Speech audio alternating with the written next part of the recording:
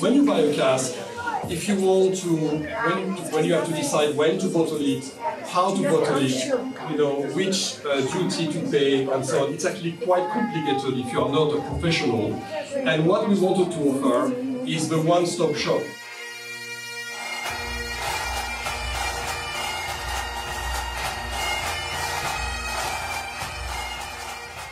Because really, with Cask 88 and with Spink, we're all about the single barrel.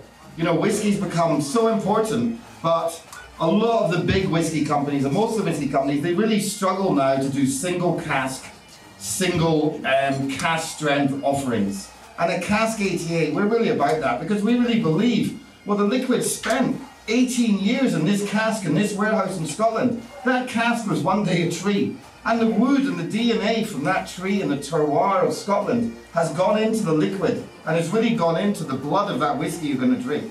So for us, a single cask is what the journey is all about.